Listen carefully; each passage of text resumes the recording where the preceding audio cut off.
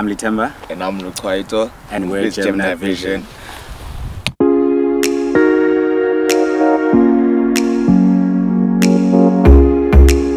I'm a 22 year old photographer. Grew up in Alice, but I'm from a small town called Middledrift, a village called Eklesi. Um, I'm a student at the University of Fort Hare, doing my final year this year, um, studying social sciences, majoring in psychology, criminology, and sociology. I'm from Alice, in a small town called Alice at Tigini. I'm from a township called Kwanzela. I met up with this guy, we met up in primary school, right? It was primary school and that's how we got to be friends. Um, we got to be friends through music. Where my spark of photography originated was from back in high school. There was this other lady who would usually come to our rugby games. I was a rugby player, I played rugby in high school. So she would usually come to our rugby games and take pictures of us and then post them on, I think Facebook was the bigger platform at the time. So I was just so fascinated about this lady taking these amazing pictures and showing the rugby players and all of that stuff. So originally that's where it came from. That's when I learned what photography was. We are self-taught photographers. We don't have any sort of formal training or any creative background that we come from. Here's what sparked me to photography. When I got to know him, he introduced me into music and it wasn't just music, it was music that you can actually listen to, it was substance.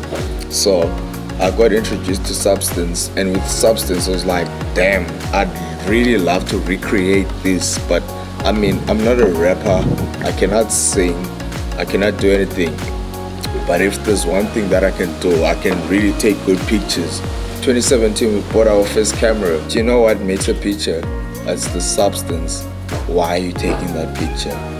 Why is it so important for you to get an angle like this and to get like someone in the frame? You know why is that? Because we're documenting.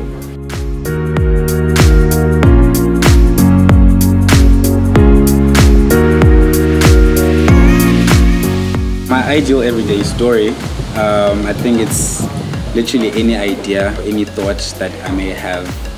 Um, for example, I started this series called Everyday People Faces.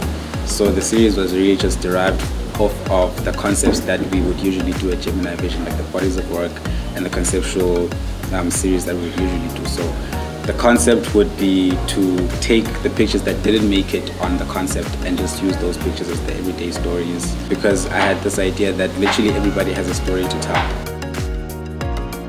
You know what makes a good photographer? It's your natural eye.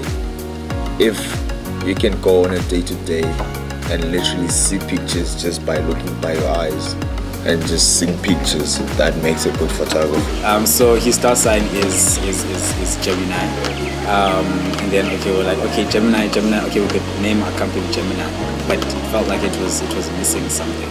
And then he came up with Gemini Vision. So that's how the name Gemini Vision came up. Also have uh, a YouTube channel where we conduct our YouTube series that we're trying to to do.